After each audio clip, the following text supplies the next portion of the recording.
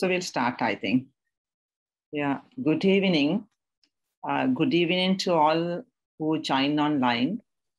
Uh, I'm Dr. Padma Gunaratne, President, Sri Lanka Medical Association. Uh, we have joined here today for the SLMA Young Members Forum. Um, the Sri Lanka Medical Association, which is a fairly vast organization, is with versatile young members who are interested in forming the SLMA Young Members Forum. And uh, they have paid their interest today for a very important aspect of Sri Lankan treasures.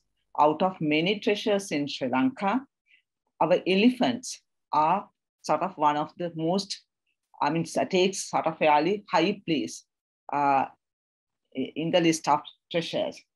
The cost of conflict of human and elephant health to Sri Lanka is vast. Uh, the uh, cost of human and elephant health for Sri Lankans is so vast to an extent that over the years, we have lost a good number of our elephants. So this is a major problem for Sri Lanka. And there are no problems without solutions. I'm glad that our young members, the SLMA Young Members Forum, paid attention today and they became concerned of this problem. Uh, and I think that is what is most important for young members, that for them to be concerned of our environment and to take actions to preserve the environment. So the, uh, let me uh, invite the moderators of this uh, presentation that will be made by a very eminent speaker, Dr. Prithviraj Fernando, senior scientist, conservationist, the chair, Center for Conservation and Research. We are glad to have you here. And then I welcome all the all who joined online for this forum. And let me invite the moderators, Dr. Sankha Randenikumara and Dr. Sajith Edirisinghe to continue with the proceedings of the uh, uh, forum. Sankha, over to you. Uh, thank you very much, madam. Uh, good evening, everybody. Thank you very much. And it's a pleasure to have you all for the second webinar on the environment health by the SLMA Young Members Forum. Uh, considering our social responsibility, one of the objectives of the SLMA Young Members Forum is promoting environmental health and conservation in Sri Lanka. So our second webinar we have organized again, aiming this objective. Uh, I'm Sankha, the chair of the Young Members Forum, and uh, our one of our uh, conveners, Dr. Sajith Edirisinghe, also also uh, joining me for uh, for moderation. Uh, so Sri Lanka, as a paradise with a rich wildlife, also has this majestic mammal species, elephants. Elephants are usually admired by people, but unfortunately, human-elephant conflict has become a long dragging issue, which has become detrimental to both parties, humans as well as elephants. So today we have one of the best speakers to talk about this issue, how this has uh, become a health problem, not only uh, uh just a health problem, it's a national problem, I think. So uh, uh our speaker is Dr. Prithviraj Fernando, MBBS, MSc, PhD. Dr. Prithviraj Fernando qualified as a medical doctor from the North Colombo Medical College, but decided to pursue a career in conservation biology later. He obtained an MSc and PhD from the University of Oregon, studying elephants. Thereupon, he joined Columbia University, New York, where he conducted research on Asian elephants and Javan rhinos. In 2004, he returned to Sri Lanka and set up the Center for Conservation and Research, of which he is the chairman. Dr. Prithviraj has worked on Asian elephants and human-elephant conflict across their range. Dr. Fernando is a member of the Asian Elephant Specialist Group and a research associate of the Smithsonian Institution, USA, and has received the Whitley Award for Nature Conservation and Sri Lankan Presidential Awards for Scientific Excellence. So with this biography, I think uh, he becomes one of the best persons to talk about this issue. Uh, Dr. Prithviraj, over to you. Thank you, Dr. Sankha. And uh, I'd first like to thank the uh, SLMA Young Members uh, Forum for inviting me to uh, talk to you about this issue. Um, so let me just uh, go on to screen share. Human-elephant conflict is a complex subject. So today I will give you an overview of the conflict, what we have done and what we can do for the future. The human-elephant conflict is a conflict between people and elephants. People suffer in many ways due to the conflict, mainly due to crop raiding by elephants. And one of the main crops that are raided by elephants are paddy fields. However, when farmers somehow safeguard their crop, harvest it, and come and store it in their houses, mm. The elephants come and break the houses to get at the stored paddy. And in this process, sometimes they injure people and sometimes kill people. If we look at the annual human deaths due to the conflict, we can see that the deaths are going up year by year. The highest number of deaths recorded so far was in 2019 when 121 deaths were recorded. Sri Lanka has the second highest number of animal human deaths due to human elephant conflict in the whole world. In addition to injury and death from elephants, people also suffer in indirect ways due to the human elephant conflict. When people farm in areas with elephants and the elephants are raiding crops, they have to guard their crops. So as a result, the farmers have to spend the whole day doing their agricultural activity and then they have to spend the whole night staying up and guarding the crops. So this leads to lots of rest, loss of sleep. And often the farmland is somewhere away from the house. So the man has to go to the farmland to guard the crops while the, his wife and family are sleeping at home. And so this leads to a number of social issues. There can also be lost opportunity costs. If there were no elephants, you could cultivate any crop that you want. But in areas with elephants, there are certain crops like manioc or watermelon that might be very profitable, but you cannot grow because of the elephants. So lost opportunity costs also increase poverty.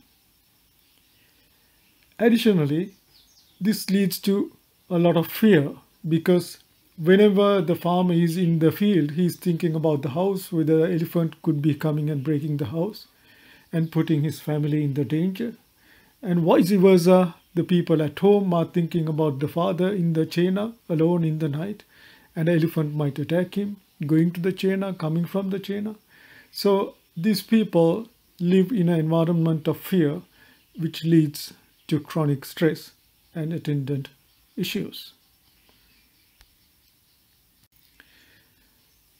Elephants also suffer in many ways due to the conflict. This baby's leg is cut due to a snare. The wire is still probably there, and he is going to get gangrene and die. This baby's trunk is cut due to a snare.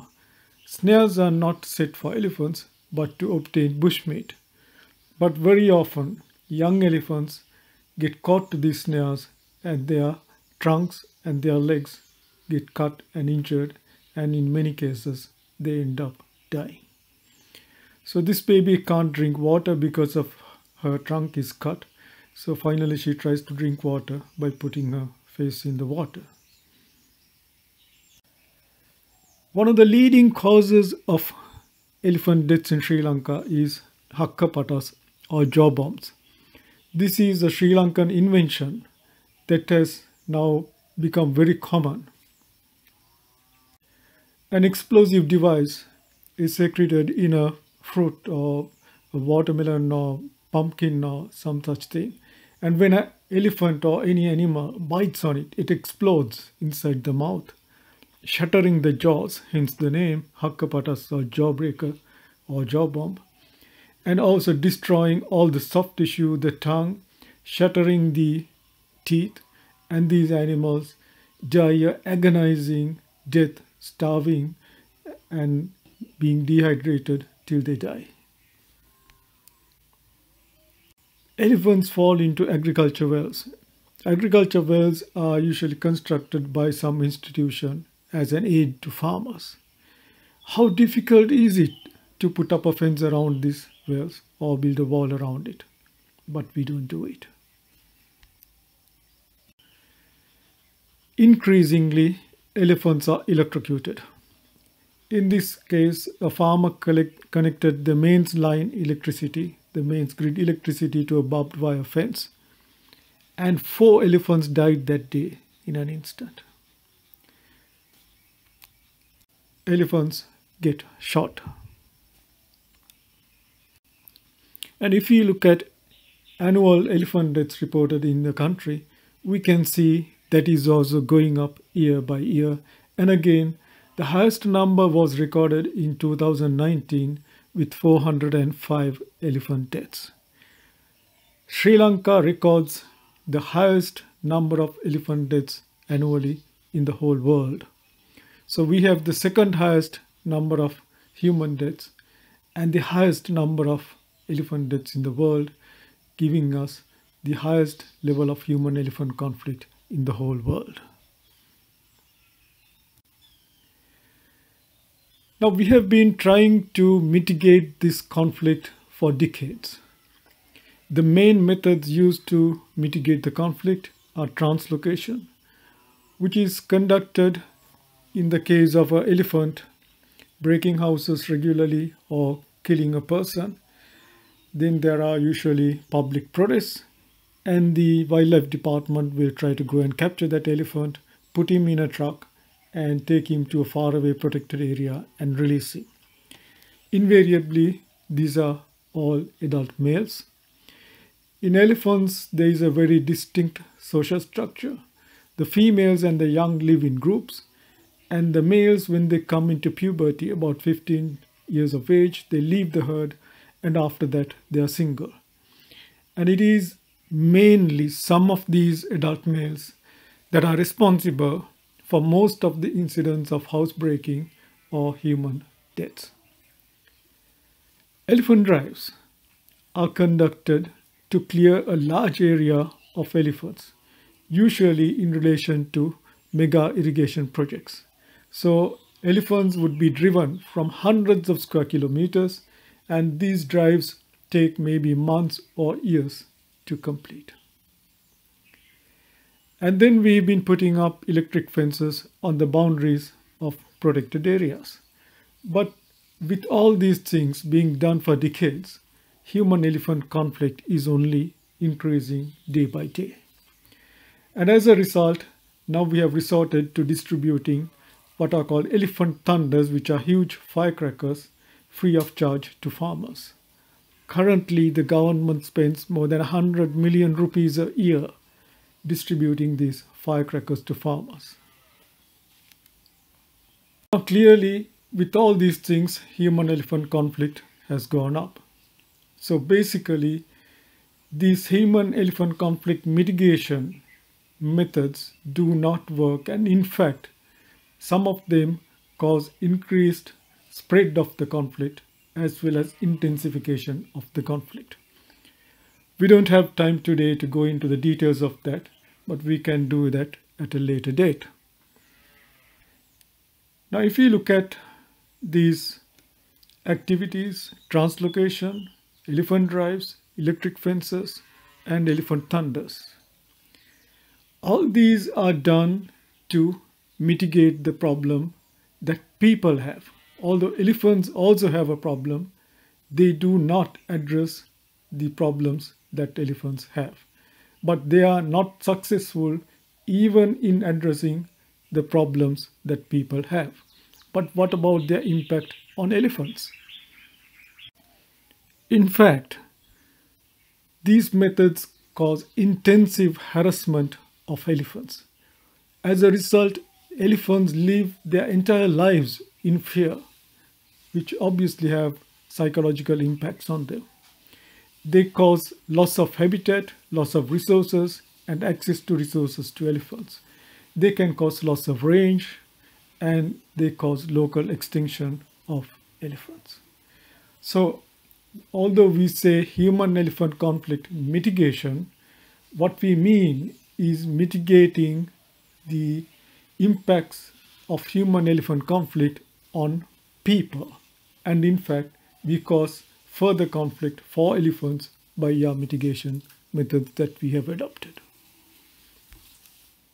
The blueprint for what the uh, plan of action was laid down in the 1940s by a committee appointed by the government. This committee suggested that elephants be limited to the areas shown in green on this map.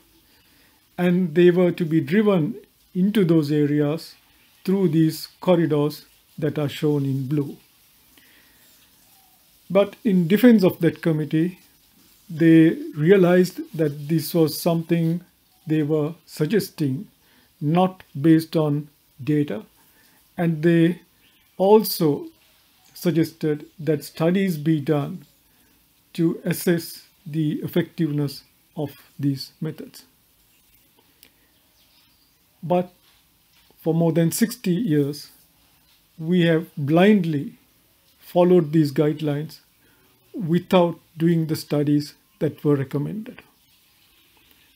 But now we have done these studies and now we can understand what is going wrong. This is a results of a survey that was done recently. The survey is based on a 25 square kilometer grid, that is the national grid, that is one of these small squares. In the red areas, there are people that are resident. In the green areas, there are no resident people. So in Sri Lanka, in 18% of the country, there are no resident people. These are all protected areas, either under the wildlife department or the forest department. But in 82% of Sri Lanka, there are resident people. Now, if we look at where the elephants are, there are elephants in the green areas, that is the areas without resident people, as well as in the yellow areas. So together that represents 62% of the country. There are no elephants in the red areas, that is the southwest quarter of Sri Lanka and the hill country and the Jaffna Peninsula and some small areas in the dry zone which are basically uh, intensively developed areas. But the rest of the country, which amounts to 62%, there are elephants. And since there are no resident people in 18% of the country, there are elephants and people living in the same landscape in 44% of the country, almost half the country. Now, if our objective is to put all the elephants that are sharing the land with people, that is if you take elephant range, that is 70% of elephant range. into where there are no people, that is only 30% of elephant range. That is like trying to put a jug of water into a glass that is already full. It simply cannot be done. And if you keep trying to do that, you end up creating a huge mess.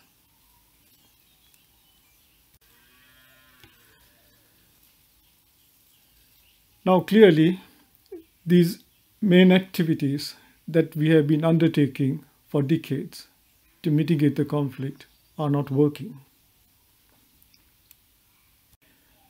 But also, if you look at traditional crop protection and some of these activities such as chasing elephants, which we do on a daily basis, elephant drives, these are all confrontational. Elephants are the largest animals on land. They are very powerful animals. Now, when you confront such an animal and act aggressively towards it, it also reciprocates with aggression. We say that even the worm turns. But an elephant turns much quicker and, if, and becomes aggressive towards you.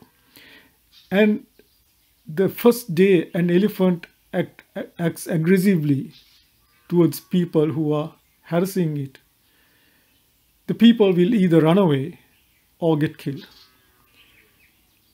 And when an elephant experiences that, from that day onwards, that's going to reinforce his aggression.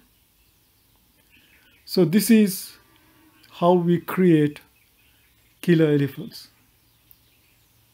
There is no gain for an elephant in killing a person. But elephants kill people because that elephant is scared that the person will do him harm based on his past experience. So we are the ones who are actually creating these animals. Now, among the many methods that have been tried out to prevent elephants from raiding crops. Live fences, chili fences, beehive fences, and so on.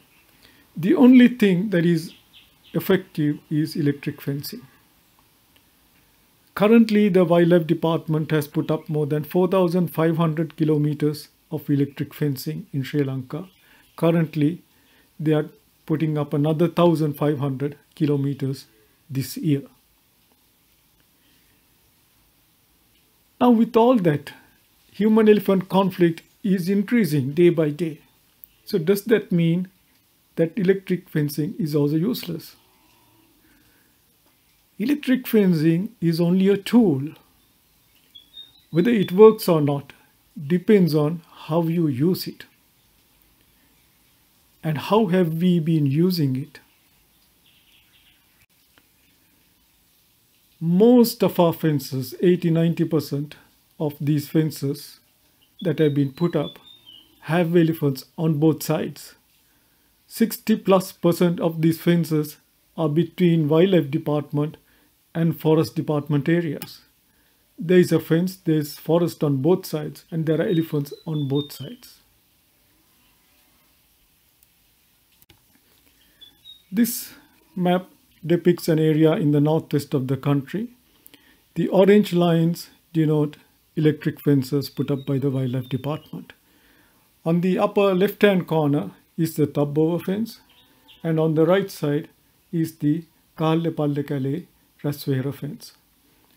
Now the elephants in the northwest are supposed to be inside these fenced in areas. Now this is some tracking data of the elephants in these areas. So these are elephants that have been tracked with the wildlife department using GPS satellite collars. The different colors denote different elephants, males or herds, but you can clearly see that the ranging of these elephants has absolutely no bearing to these electric fences it's not that there are no elephants in the areas with the electric fences. There are more elephants there, but these are the ones that have been collared and tracked. This is the southern part of the country. The large area in the middle is the Lunugamvehera National Park, which is contiguous with the Yala Protected Area Complex. The green line on the border is the electric fence around the protected areas, the Wildlife Department protected areas. Above that, the two colors denote GPS uh, collared elephants, females from two herds that were collared. So this is the Kuda Oya area and there are more than 100 elephants living in this area. But these elephants actually cannot go into the park because of this electric fence. The area they occupy is mostly under the forest department, but there is no barrier between these elephants and the developed area around them. Similarly, south of the Lunugamvehera National Park in the Sella Kataragama area, there are about 50 elephants in that area. Again, this denotes a herd that has been collared. And these animals again cannot go into the park because of the fence and no barrier between them and the surrounding developed area. Now, what is the issue about putting up fences like this inside the forest? So if we say the dark green area is the wildlife department area, the forest department area is the lighter green area. Usually the forest department areas are more exterior and the wildlife areas are more interior. So the forest department areas are somewhat like buffer zones. Now if there are elephants that are using both these areas and then we put up a fence between them, between the wildlife and the forest department area inside the forest, we are cutting their home range in half. That means the elephants that get marooned on the wrong side of the fence either have to break the fence and go in and use again their normal home range this side and that side of the fence or else they have to now stay limited to whatever area they can use in the forest department area which is half their home range which means they cannot survive or else they have to look for new resources and go into developed areas which are adjacent to the forest department areas.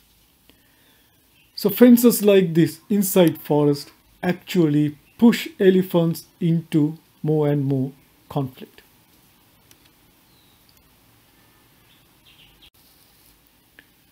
Now if we think why are we putting up these fences? Isn't it to protect people, their property, their crops, their lives? So if you want to protect something, shouldn't your method of protection be aligned with where protection is needed? So shouldn't these fences be where protection is needed, that is the boundary of the developed area? Secondly, who should be putting up these fences? Should not the people who are faced with this conflict, who suffer from it, do something about it? Shouldn't they construct these fences? Shouldn't they maintain these fences? Shouldn't the agencies who are responsible for people's welfare, be it the divisional secretariats, be development agencies like the irrigation department, Mahaweli, agrarian services, shouldn't those agencies help these people put up and maintain these fences? Why is the Wildlife Conservation Department putting up electric fences to protect people? This does not make sense. However, the highest level of conflict is when a person gets killed even if we don't take adequate and appropriate steps to prevent conflict when we do development. One would think that we at least are responsible towards our lives. But are we? This is a day in the southern part of the country. There are more than 60 elephants across the road. Huge males, adult females, young ones, juveniles. And these two youngsters are riding a little Chaly through the herd.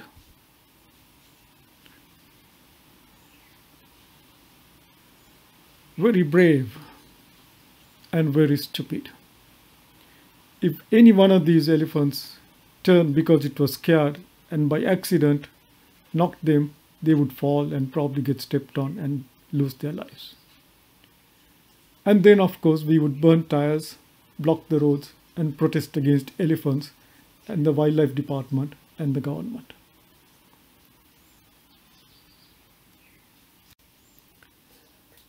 Okay, so clearly what we have been doing to mitigate the conflict has not been working.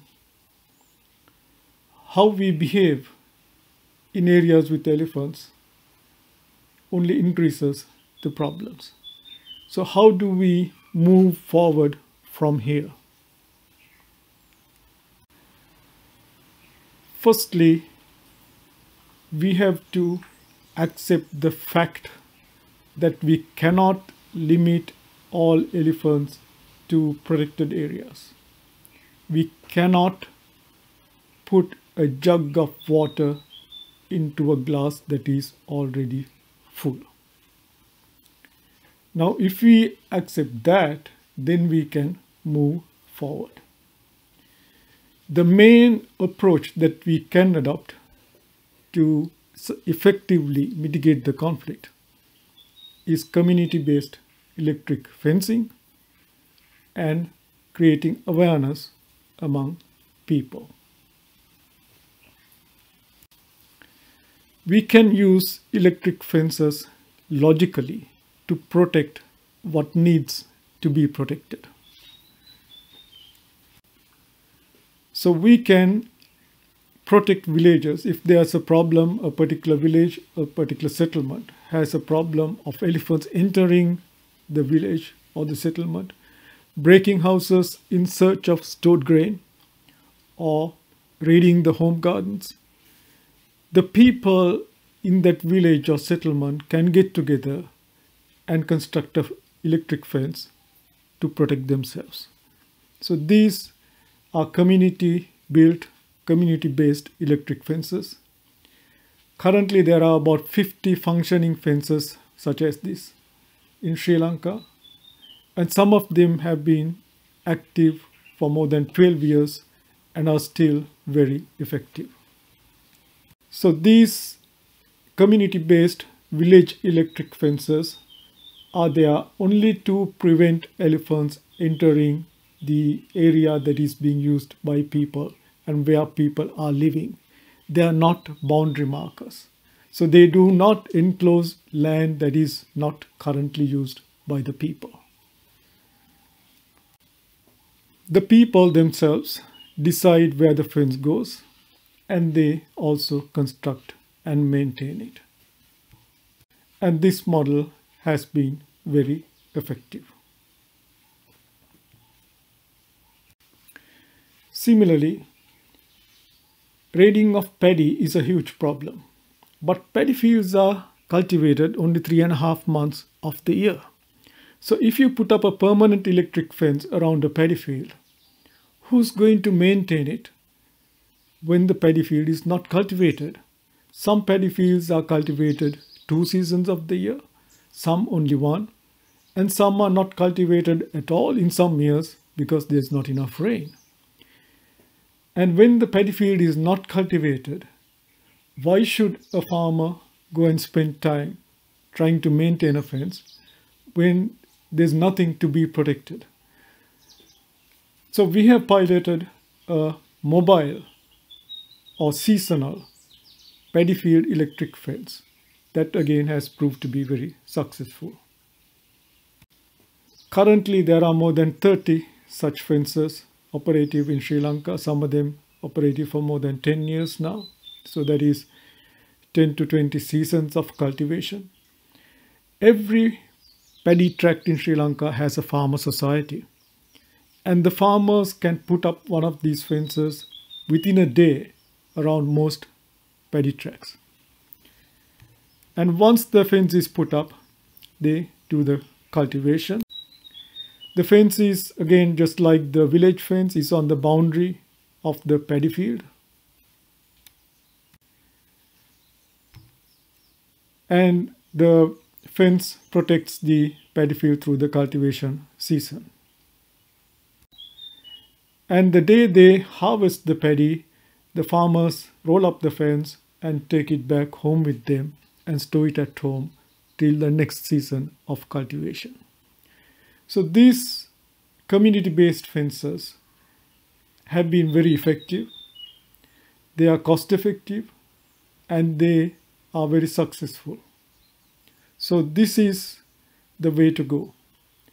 But then the question is, who can implement this at the scale that is appropriate, considering that there are millions of people living in 44% of the country with elephants. That is why agencies that have a network among people, that have a relationship with people, that have authority over the people, such as the divisional secretariat and the development agencies, such as the irrigation department, Mahaweli, agrarian services, these agencies have to be the ones that are working with people to do this community fencing. The Wildlife Conservation Department cannot do this.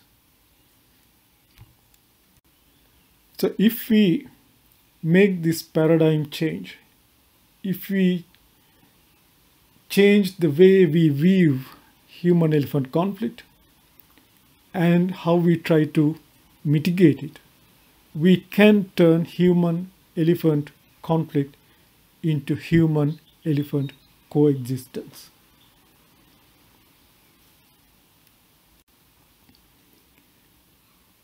In 2020, His Excellency the President appointed a committee to develop a national action plan for the mitigation of human elephant conflict. The committee consisted of a number of scientists and heads of relevant departments, district secretaries. And this committee sat and deliberated and developed a very comprehensive scientific action plan based on data and information that is now available to us. But unfortunately, so far, this has not been implemented. Instead, we are still running behind the mirage of putting a jug of water into a glass already full. Thank you.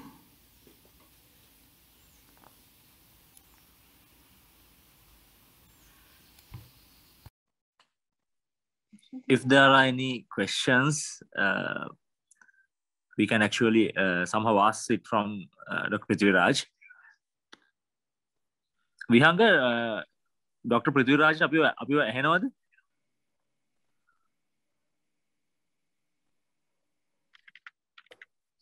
Dr. Prithiviraj?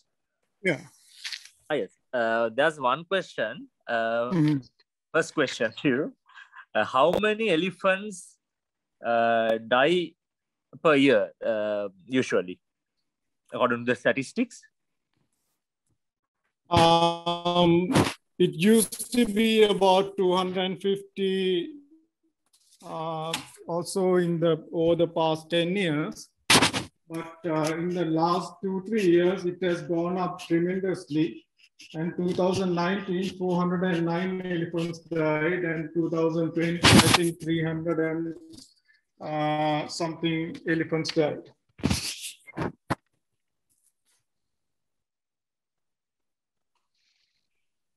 Uh, uh, what is your view on using bees? Uh, this has been tried, I think, in several places. Bees, honey bees, uh, as uh, a way of uh, sort of chasing away the elephants. Yeah, um, that has been tried in Africa and the, they claim some success with that. But um, that has been tried in several places in Asia, including Sri Lanka, and it has completely failed. And uh, in fact, the person who started this uh, bee fences in Africa, Dr. Lucy King, had a student in Sri Lanka who tried it out, uh, but it just didn't work. Uh, so there are a number of reasons. One is that the Asian honeybees perhaps not so uh, aggressive as the African bees. In addition, uh, we don't have enough flowers throughout the year to support a large number of beehives. And also beekeeping is not an easy thing. So there are lots of issues and that has completely failed everywhere in Asia, including in Sri Lanka. And one of the methods tried out was uh, planting uh, lime or orange trees. What about that? Again, it's something, I mean, people have been talking about the biofences, planting trees as a barrier. And again, this is not something practical. Um, if you have tried to grow anything, you will know that plants die from, so maybe there's too much sun, there's not enough sun, there's too much water, not enough water, the, it's a rocky area, all kinds of reasons, plants die. So it's almost impossible to grow a barrier which is many kilometers long. You might be able to do it with a lot of effort in a very small area of maybe 100 meters or something like that. But any barrier for elephants has to be many kilometers in extent. And again, it has not been successful growing these biofences anywhere in the world. What is the birth rate of elephants? Now we know about the, the, the death rates of out of the human elephant conflict any idea about the birth rate? Um, actually, we don't know. Uh, we don't have that kind of information. We have some information for particular populations. For example, we have been conducting research in the Yala National Park for more than uh, 25 years now. So we have data for such populations. So it varies a lot. Um, elephants have, a, have the longest gestation period of any mammal, that is 22 months, and they suckle the baby for another two, two and a half years. So a female gives birth only once in about four and a half, five years. So the maximum birth rate recorded for elephants is about 5% per year, but in most cases, it's not even close to that. And what we are seeing is, for example, in Yala and many of our national parks where elephants have been put in and fenced in, the birth rates are actually decreasing, it's negative. So um, we don't have data to say what the birth rate is for the whole of Sri Lanka, but particular populations, uh, they may increase at about one or 2% uh, per year, but also other populations, they are decreasing at similar rates or even greater rates. Right. Sajid, uh, a few more questions are there. You can continue. Yeah. Uh, now,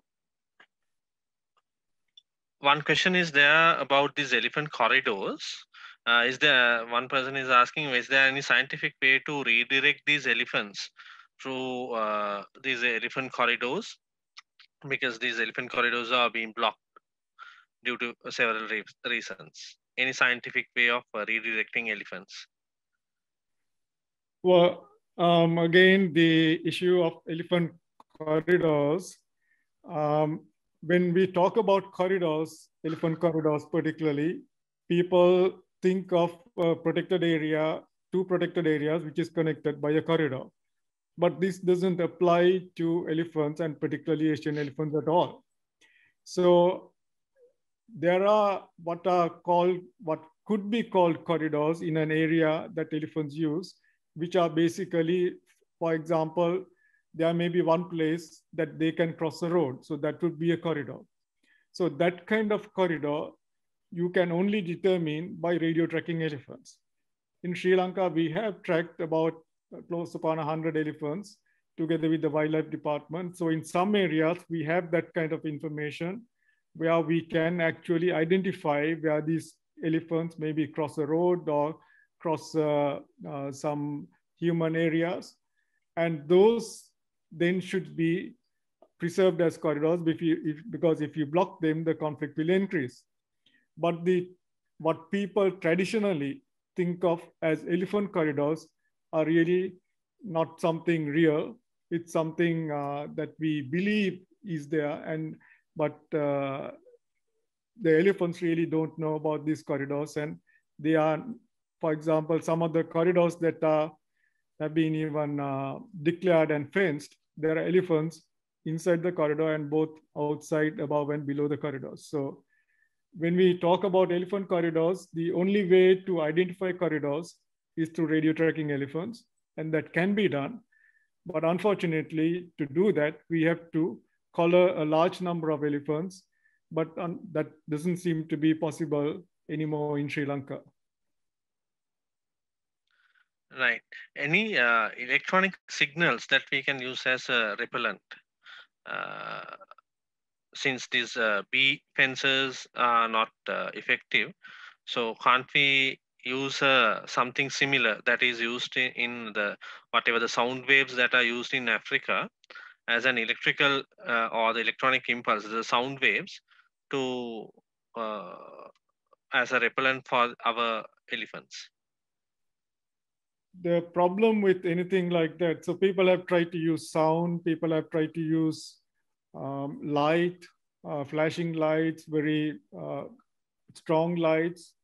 Uh, the, the, the elephant firecrackers, the elephant thunders are based on sound. So that if your elephant thunder is like a, a firecracker that is about one foot long and it goes off like a bomb. But elephant, the problem with elephants is that they are pretty intelligent and very soon they get used to any of these methods. They realize that this is only just a lot of sound or only just a, a light that doesn't harm them. So as a result, initially when you try out something new, it invariably works because elephants are not used to that. But after a while, the elephants learn that this is not harmful and then it loses its effectiveness. So there's no sound that you can use that will repel elephants and will work for any length of time. If you use a sound that elephants are unfamiliar with, they will probably run away. But after a week, after a month, or after a year, they will be back. And after that, it's not going to work.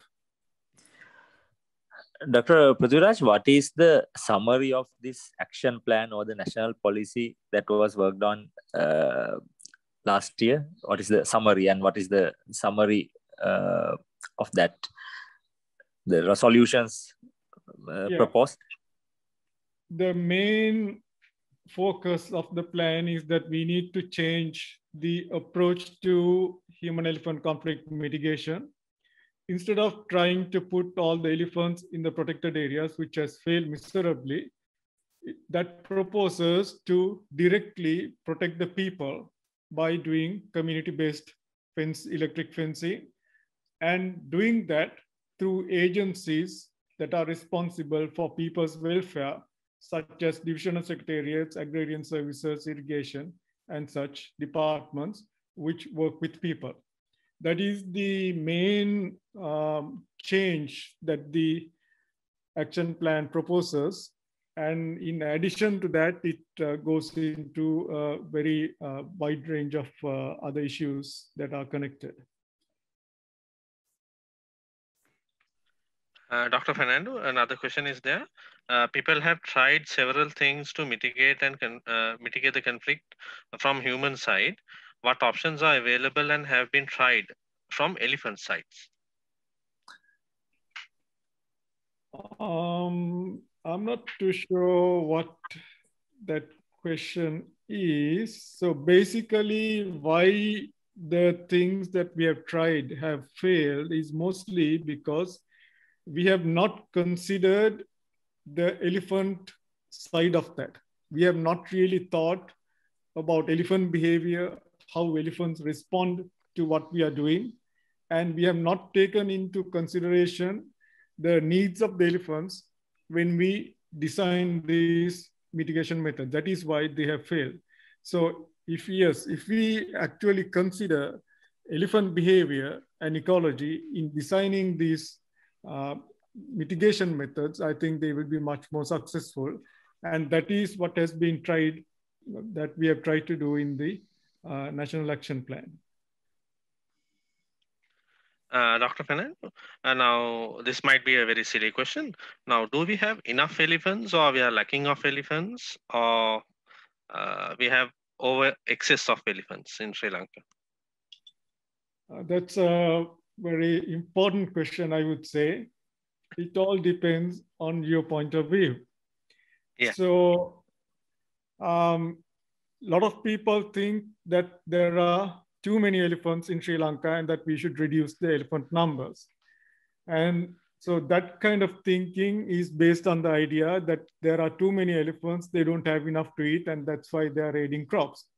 But this is not true. It is uh, that idea is not based on elephant uh, ecology and behavior. The problem with elephants is that elephants are attracted to crops, particularly male elephants, because they are much better than anything in the forest. So however much food there is in the forest, if you grow crops and the elephants can access it, they will access it. So the you cannot reduce the conflict by reducing the elephants. A perfect example of that is the Sinharaja situation, where there are only two elephants there, but it, there's a lot of conflict around that area. So if you want to uh, manage the conflict by reducing elephants, you basically have to get rid of all the elephants. And that again, uh, cannot be done easily, nor do we want to do that, I think, as a country. So basically, I think we have the number of elephants that we have. And if we can protect the people and the crops and their property, I think then we can manage the conflict with the number of elephants that we have. And the elephants will decide how many elephants can uh, be in Sri Lanka. Uh, there's a question about uh, elephant fences. Uh, the this says there are many villages in Batticaloa which needs uh, which, which uh, need electric fences farmers there cannot afford for. The question is, are these community fences are government projects? How, how to get a fence? That's the main uh, problem, I think. Well, um, I think again, that's a, a very good question. Um, yes, that is the way to go. So if there is a village that has a problem with elephants coming into the village and raiding the home gardens, breaking houses, then if the villagers get together and put up a fence around them, then that problem will be solved. Unfortunately, currently there is no government um, project uh, uh, or government initiative to do this uh, community protection fences. Currently, still the government focus is on putting up fences on the boundaries of protected areas and trying to put all the elephants in there. So this is, I think, what needs to change.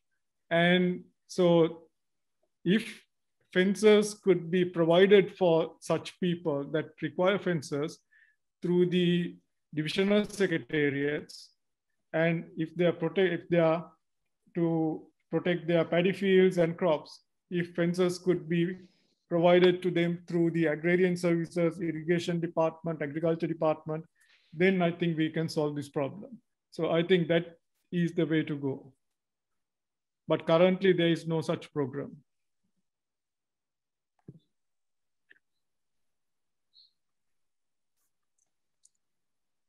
There's a hilarious question, but I think this is very true. How many human deaths could be attributed to alcohol? Do you think farmers should refrain from an evening drink so that elephants can walk around freely? Actually, the the, the to bottom line is all these deaths are they due to uh, confront confrontation or they uh, were they due to uh, sort of uh, the, the, innocent people and the elephant came and killed them well, any idea about that yeah so yes i mean alcohol is a big problem a big part of this issue and a uh, lot of the people who get killed by elephants are drunk so if you are drunk and walking about in an area with elephants you are basically I think, asking for trouble. But yes, there are some deaths that are accidental. There are some deaths which are due to confrontation and the elephant reciprocating. So basically, if you think about it, and there is no gain for an elephant in killing a person. It's not like a man-eating tiger or lion or something like that. So the elephant will kill a person because the elephant is scared that the person will do some injury to the elephant. And so that is based on the past experience the elephant has had with people. So unfortunately, as I said, because all our crop guarding, all our elephant drives, elephant chasing, which is done on a daily basis, is confrontational. So when elephants are subject to aggression like that, more and more elephants think that people are all the time out to kill them. And sometimes those elephants will turn around and then that will result in the death of a person. So the best way to break this uh, sort of vicious circle is to adopt non-confrontational methods. And the best non-confrontational method that is available to us is electric fencing. But electric fencing, again, is a tool so like any other tool, it works only if it is used properly. Unfortunately, we have not been using it properly. And the proper way to use that is through community-based fencing. Uh, the question, another question, is it cost effective to maintain cultivation by an electric fence? How can a villager maintain electric fence? Yeah, I agree. So if you actually look at the value of the crops, in some cases, the cost of the fence might be uh, more than the value of the crops. But then again, and also most people, uh, like in the earlier question, most people cannot afford these fences because electric fencing is fairly expensive. Currently, the community fences cost about five or 600,000 per kilometer. The government built fences along the protected area boundaries cost more than a million per kilometer. But again, what value can you put on the life of a person?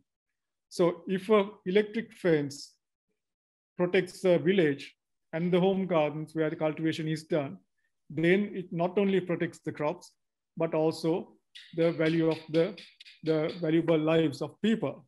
Similarly, a person is cultivating a paddy field, and if there is no fence, his life is also at risk. But in most cases, when you consider things like paddy fields, it is cost effective. The current cost of cultivating one acre of paddy is, runs to about 40,000 rupees per season for each farmer. And the cost he would have to bear to put up a fence is actually much less than that. And a fence can be used many, many years uh, repetitively. So there it is actually cost effective. This question, uh, okay, I'll ask why not give permission to a farmer to use a weapon at least when they are, they are, when their life is threatened? What do you think? Well, in the past few years, there have been initiatives by the uh, successive governments, including this government, of distributing firearms to farmers. That has not helped at all. In fact, if you give firearms to farmers, so then the farmer basically has to kill the elephant. And it's not that easy to kill an elephant. And if you shoot an elephant and injure that elephant, that leads to that elephant becoming much more aggressive towards people. And in fact, a lot of the what are called killer elephants are made by shooting at elephants and injuring them. So giving firearms to people, I think, is not a good thing under any circumstances because they will also be used against elephants, but also for poaching other animals and also in conflict between people and people. So I think that is uh, something uh, very dangerous to do. Exactly. And uh, I will take this as the last question. And uh, I'm getting some messages that uh, the discussion is really interesting. So even though we could not, uh, we, we hardly heard the initial part of the presentation and it was disturbed, but discussion has become, I think, full of interesting. So uh, the last question, um, what is your view on having crossing corridors for elephants and other animals while blocking their movements in the fences area? fenced areas actually, fenced area, particularly to prevent rail deaths? Um, so the, I'm not sure I quite understood the question. Could you repeat it, please? Yeah. Uh, what is your view on having crossing corridors for elephants and other animals while blocking their movements in the fenced areas? So that's the usual thing, okay. I think. Yeah. Right no that is that is very good and that is something that needs to be done but the point is we have to design those corridors based on what the elephants do. That's where we go wrong. So if we just put up a fence and then uh, try to divert elephants to some corridor that we locate just out of the blue the elephant will probably not use that corridor. He will probably break the fence and go where he wants. But if we actually track the elephants, uh, you can put radio collars on them and track them and you can get that data. Today, that's, I mean, very uh, doable. And if you use that information and you know that elephants cross this road at this point or cross this railway track at this point, then you can put a fence along that corridor. And then it is very, un the elephants will continue to use it and you can prevent sudden crossing by other animal, other elephants on in other areas. So it, if you actually get the information on elephants, then yes, then you can design such corridors and they will be successful. But if you just think uh, this is a good place for a corridor, then whether it will work or not is just a hit or miss. Right, thank you very much. I think you are very well audible now, not as before. So we missed that uh, chance. Uh, I guess somehow the internet, I think, has picked up a little bit now. So I'm very sorry about this uh, mess today. There seems to be something very wrong with the internet, um, but now it seems to be working. Uh, unfortunately, uh, do you have do you have any uh, key message to deliver as the last point? Um, yes thank you very much for inviting me uh, to talk to you today. And uh, um, I think actually the discussion that uh, subsequent to my uh, talk was actually one of the best discussions I've had in such uh, Zoom uh, presentations. So um, I'm very sorry about not being able to do the presentation properly. But um, yeah, I think the important thing is that people like you all, I mean, uh, as doctors, as uh, the SLMA, you all have a lot of influence. And I would say um, if it is possible for you all to um, talk about this, think about this, and uh, maybe influence people to try and actually implement a scientific solution to this problem, I think uh, we can actually make a difference. Um, I could also make the action plan available to you if uh, y'all are interested. Um, of course, it has not been um, sort of uh, adopted by the government, but uh, it was, of course, a committee appointed by ICHI. So, but if you are interested, I can uh, make the action plan available to you. Thank you. We are very much interested. Yeah, yeah, Dr. Uh, Fernando, one last thing.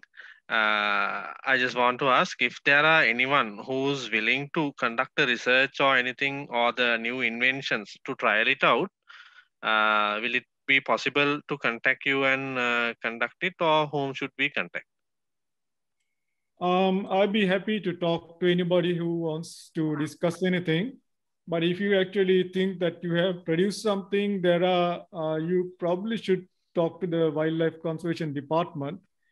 And they also have a number of programs with the uh, Inventors Forum and uh, things like that. So the Wildlife Department would be the people to talk to. Right. Thank you very much. Uh, there are there are few. Uh, I will I will read out few uh, comments. Thank you very much. Uh, we must appreciate his understanding about human uh, uh, humans that is that I did not hear from many conservationists. And another one tells. give a second. Uh,